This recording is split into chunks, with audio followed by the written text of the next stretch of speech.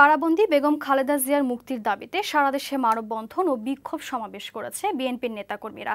এ সময় রাজনৈতিক প্রতিহিংসা বেগম জিয়াকে কারাগারে আটকে রাখা হয়েছে উল্লেখ করে শিগগিরই মুক্তির আন্দোলন গড়ে তোলা হবে বলে হুঁশিয়ারি দেন বিএনপির নেতারা।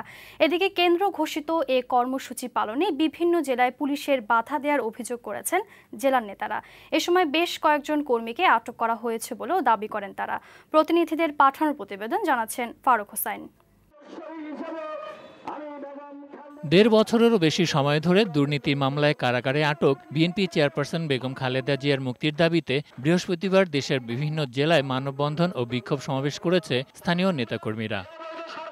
মানববন্ধনে অংশ নিয়ে দলটির তৃণমূলের নেতাকর্মীরা অভিযোগ করেন, সরকারের প্রতিহিংসার কারণে মিথ্যা মামলায় কারাগারে আটক বেগম খালেদা জিয়া। আইনি প্রক্রিয়ায় মুক্তি মিলবে না উল্লেখ করে বৃহত্তর আন্দোলন কর্মসূচির ঘোষণা দিতে কেন্দ্রীয় নেতাদের প্রতি আহ্বান জানান তারা। এ সময় বিক্ষোভ সমাবেশ ছেড়ে হরতালের মতো কঠোর কর্মসূচি দেওয়ার কথাও জানান তারা।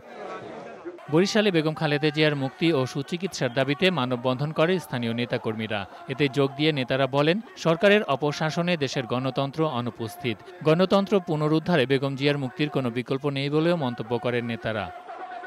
এছাড়াও বগুড়া, ফরিদপুর, জামালপুর, মুন্সীগঞ্জ, লালমনিরহাট, ঠাকুরগাঁও, খাগড়াছড়িতে বেগম খালেদা জিয়ার মুক্তির দাবিতে মানববন্ধন ও বিক্ষোভ করেন স্থানীয় নেতাকর্মীরা। এদিকে কেন্দ্র ঘোষিত এই কর্মসূচি পালনে বিভিন্ন জেলায় পুলিশের বাধার অভিযোগ করেছেন স্থানীয় নেতারা।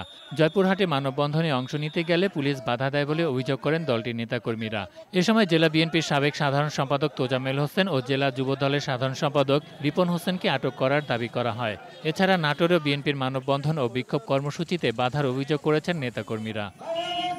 অবিলম্বে বেগম খালেদা জিয়ার মুক্তি দিয়ে সুচিকিৎসার ব্যবস্থা না করলে দ্রুত কঠোর আন্দোলন গড়ে তোলা হবে বলেও জানান স্থানীয় নেতাকর্মীরা।